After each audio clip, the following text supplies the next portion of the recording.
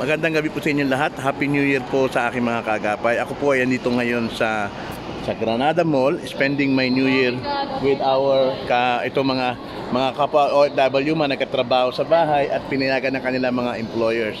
Ngayon, gusto kong ipakita sa inyo ito. Ah, ito. Isa sa mga habang yan, nasa trabaho pa siya oh. Bagong taon na bagong taon, but nagtatrabaho po siya ngayon. Siya po ay isang ah, cleaners. Ate, ano masasabi mo? Happy New Year sa iyo. Happy New Year din, sir. Happy New Year, New Year na New Year sa Pilipinas. Habang yung pamilya mo nagse-celebrate, ikaw nagtatrabaho.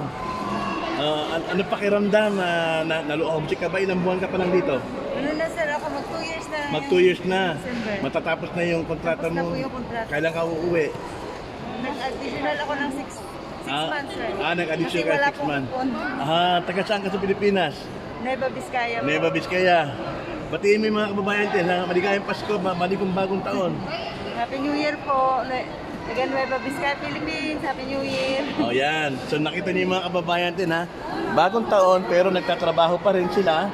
At ito mga ito naman mga kasambahay natin. Ah, ate, wala man lang baka may bigay na pamasko sa iyong dalisan. Ito lang. At, uh, dahil lang ate, bigyan man lang kita ng pangkain ninyo. Awa ka mga Pagatian yung dalawa to ha. Kasi tao, hindi ako makatigil. Sino may barya ng dalawang 50? Oo, para bigay ko sa kanila. Ay, di, meron naman ito. Pagatian yung dalawa nung kasama. Pagatian yung dalawa ha.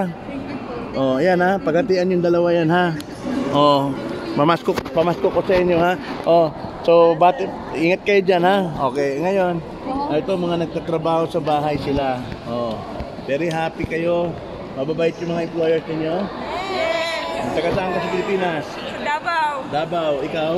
North Caloocan. Ikaw? na Cagayan Valley. Cagayan Valley. Oy, kayong dalawa dyan.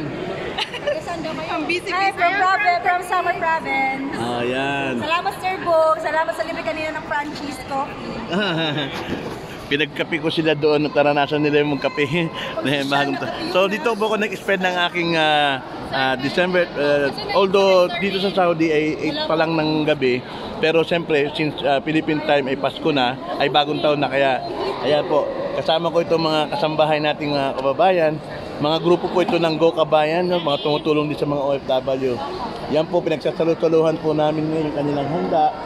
Meron po silang pansit, kanin, takano. Ayan.